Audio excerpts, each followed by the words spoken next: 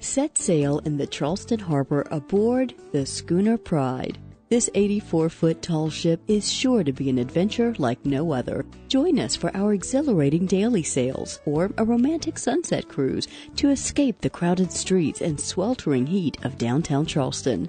There are no set courses. She sails with the winds and tides, so every cruise is unique.